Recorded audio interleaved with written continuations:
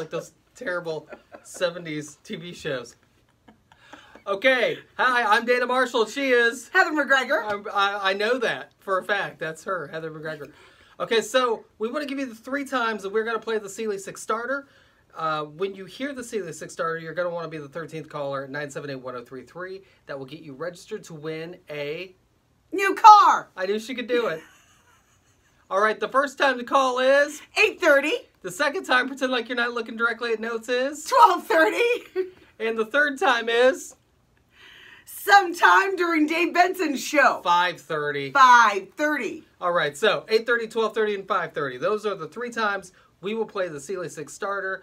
Good luck. And don't forget, you have to uh, listen Friday, November 9th, 7.10 a.m., because we'll be drawing a winner for a new car. If we call your name, you have 103 seconds to call us back, or we'll toss the name and move on. That would suck so bad if we called your name and you were like on the toilet or something.